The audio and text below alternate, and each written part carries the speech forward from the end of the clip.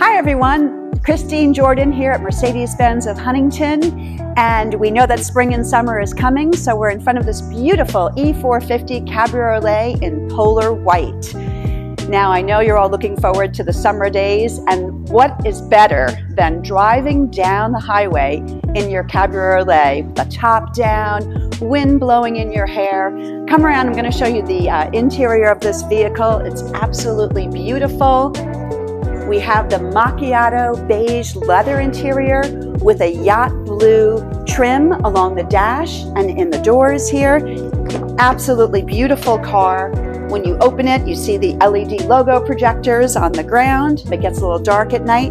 Don't worry about being cool when the weather gets a little bit chilly or the air gets a little chilly because all of our cabriolets come with what's called an air scarf. So you just push it on the door gives you nice warm air on the back of your neck. You have your dual integrated screen in your dash, and then you have your heating and cooling, very easy to manipulate the vehicle and find out all the different features of the car, turning on your heated seats. We have ventilated seats as well, so when it gets a little bit uh, hotter in the summer, you're actually keeping yourself cool. So come on down take it for a test drive. Love to see you.